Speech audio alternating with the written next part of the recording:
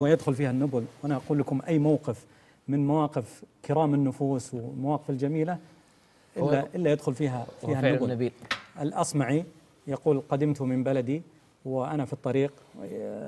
قدمت فقابلني أعرابي فقال من أي البلاد أنت؟ قلت من أصمع. آه، بلاد يتلى فيها القرآن. قال اتلو علي من من القرآن. فتلوت عليه فلما وصلت آه، آه، وفي السماء رزقكم وما توعدون. الله. كان معه قعود. وجاك القعود ونحر القعود وأخذ السيف والرمح وكسره وفرق ال- القعود ومشى. راح. آمن إن الله عز وجل عندما قال هذا الأمر فهو أمر مصدق. سيعوضه. وفي السماء رزقكم وما توعدون. يقول الأصمعي يقول بعد فترة حججت مع الرشيد فقابلت هذا الرجل وقد نحل عظمه واصفر جسمه وأصبح هزيلا. فيقول استنطقني قال زدني من السورة.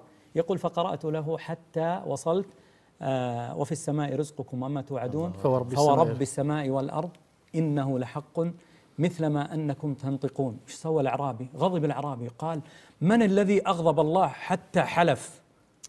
من اللي أغضب الله عز وجل حتى خلاه يعني خلاه خلاه يحلف؟ كررها ثلاثا آه ثم يقول قضى قضى نحبه.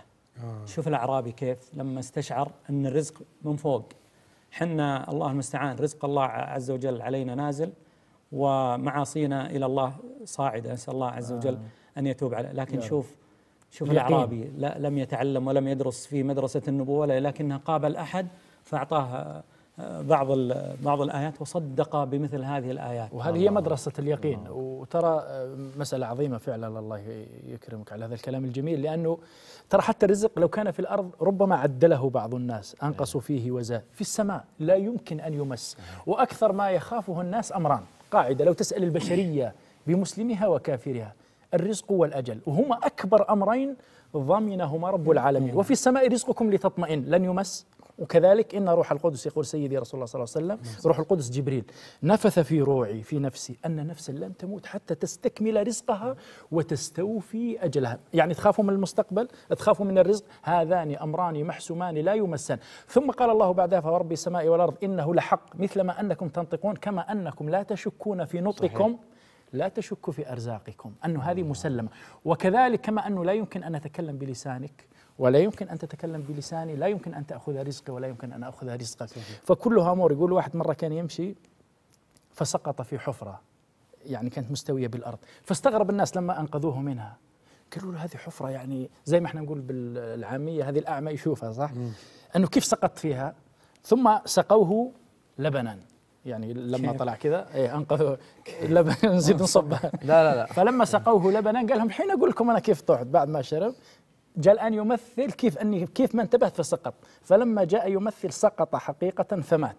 قال العلماء فخرج من الحفرة في المرة الأولى لأنه بقيت مضغة اللبن ليشربها. يا الله. نعم هذا رزقك.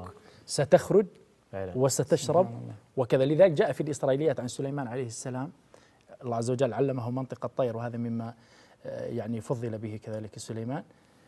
يقول كلمته نملة قال كم يكفيك؟ يعني ال- القوت قالت حبة قمح. فأعطاها سليمان عليه السلام حبة قمح يعني على ما تكمليها راح أرجع لك. مرت الفترة اللي كلمت فيها نبي الله سليمان فلما جاء وجدها أكلت نصف حبة قمح لم تأكل حبة كاملة. قال ألم تقولي أنك تأكلين حبة كاملة؟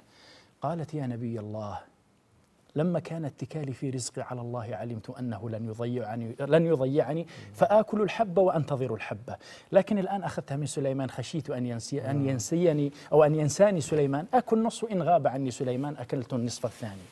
شوف لما يتعلق القلب بالله تأكل اليوم وتأكل غدا، تعلق بالبشر ستجوع اليوم وتجوع غدا. صحيح. يا سلام. وحتى لا تجوع؟ تصدق. إيه يلا. حاضر يا أبو هيثم والله. أجل خذ عندك شيء ولا ناخذ؟ قال لك. هنا ثم روح البيت الوداد الوقف الوداد. آه طيب. عائلة واحدة رايحة زواج ما. آه، أم الرياض تقول صايمة ما نسيتكم من دعواتي. الله يرضى عنك والديكم أسأل الله أن يتقبل. تفضل أبو علي. لا لا خلي خلي مستمتعين معنا بس تقول تغريدة واحدة وش؟ لا لا أبو لا، علي- أبو علي ولا مداخلة. ثلاث هي يقول عشر بعد. عندهم عشر. أبو علي ما أقدر. هو. ترى ترى سعد من الناس اللي إذا قال فعلا. عشر تغريدات. لا اقاطعك والله. الله يجزاك خير يا أبو علي. إحنا